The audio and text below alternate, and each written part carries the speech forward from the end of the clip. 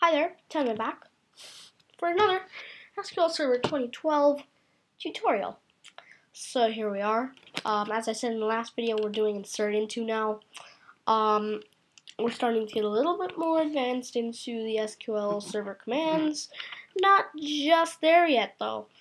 So, um, let's say you had this table in your database. Sorry.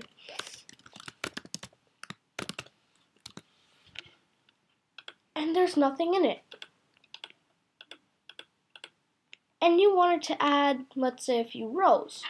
Now, uh, let's say you had some example information. It's not very simple, actually. What you can do is insert into and then the table name. So mine would be test table.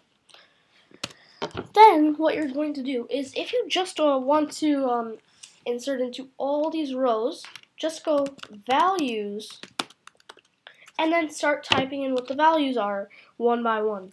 So my ID, let's say um, 13, uh, or just 3, Fnet, first name, Tanmay, last name, Bakshi, um, email, uh, at gmail.com.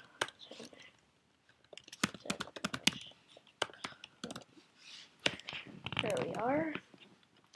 So we just made this little sample, and it said one row affected.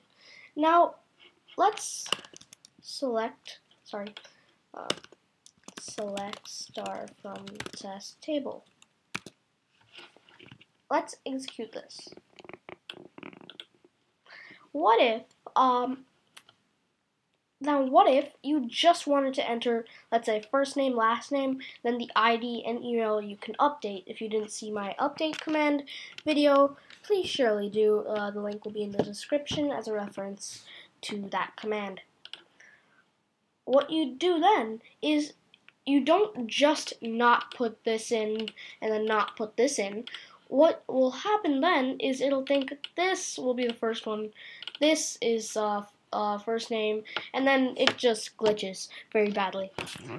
What you do then is you'd specifically say, okay, I'm just going to copy this uh, to save some time. Before this, make some brackets, and then go F name and L name. So I just want to enter those two. And then just remove. So let's say I want to add in. Watch this. Execute, select, null and null. Now, again, um, watch the update video if you didn't. Update table. Oh wait, sorry, we don't need that.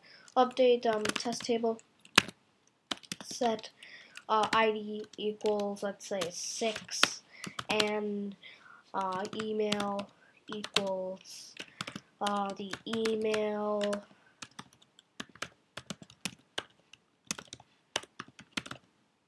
where f name equals and file name equals actually right there.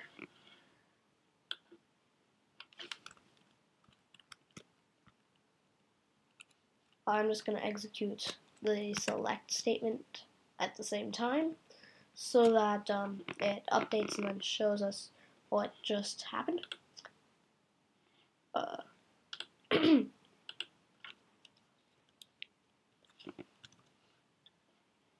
sorry.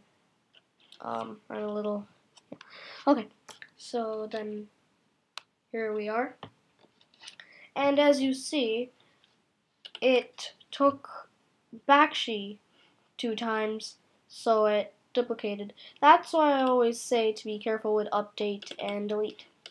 So, Uh, then you can just revert that by deleting two of these. Hmm. So that was the insert into, um, I guess, tutorial. Uh, make sure to check out the update video if you haven't already. Uh, goodbye. Make sure you watch my next few videos that will come tomorrow.